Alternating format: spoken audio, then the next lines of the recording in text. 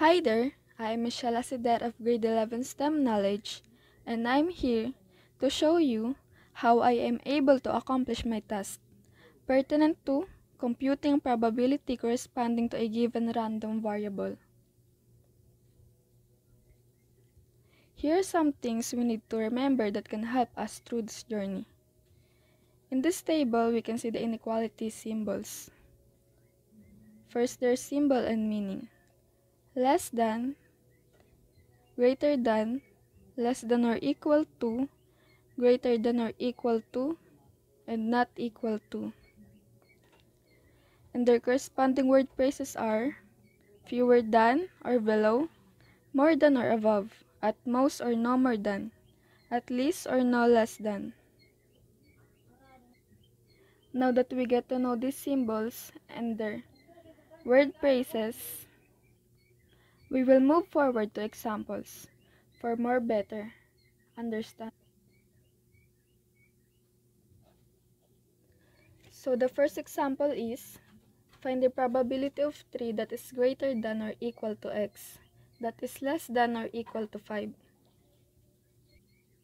Hence, the value that we are going to add is the probability of 3, 4, 5, and 6. So their corresponding number are 0.090 plus 0.140 plus 0.280 plus 0.380. Adding all this up, it is equal to 0.89. Next example. In a K-pop dance group called NCT, the number of members that are busy in their individual activities at 8 a.m. from weekends, the probability shows in the table. What is the probability that at least 3 but fewer than 6 of the members of NCT are busy at 8 a.m.? Finding the probability of 3 greater than or equal to x that is less than to 6. So the probability of 3 is 0.320 plus probability of 4 is 0.180 plus probability of 5 is 0.05.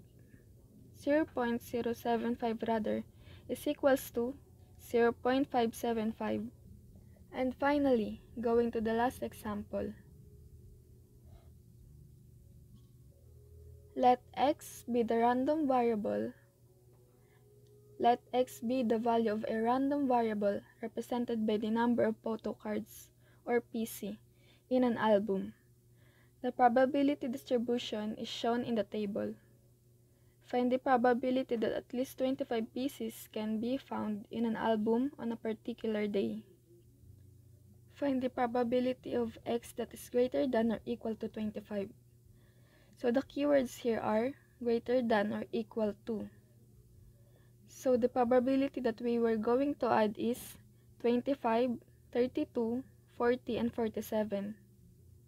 2 over 12 plus 1 over 6 plus 3 over 12 plus 2 over 12 is equals to 3 over 4 or 0.75.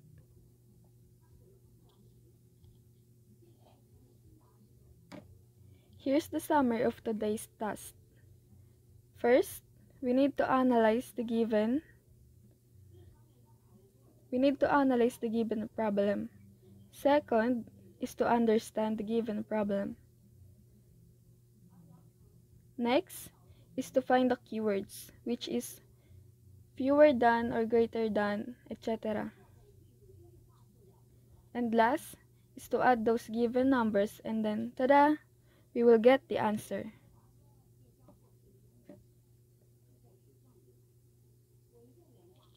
That's all. Thank you for listening.